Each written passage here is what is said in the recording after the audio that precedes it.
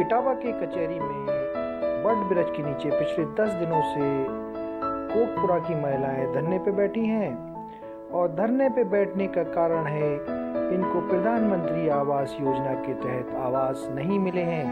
पिछले एक साल से चक्कर काट रही हैं ये ऑफिसों के, लेकिन आवास नहीं मिले हैं। काफ़ी गरीब महिलाएँ हैं, इनको आवास मिलने चाहिए, लेकिन अभी तक आवास नहीं मिले हैं। उन्हीं उसी सिलसिले में ये जब धरने में बैठी तो एक महिला बेहोश हो गई। जब बेहोश हो गई, तब इसकी सुध ली गई और सिटी मजिस्ट्रेट घटना स्थल पर पहुँचे।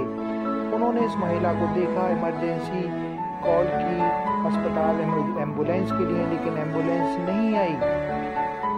थोड़ी देर बाद उसको टेंपू पर रखकर अस्पताल ले जाया गया।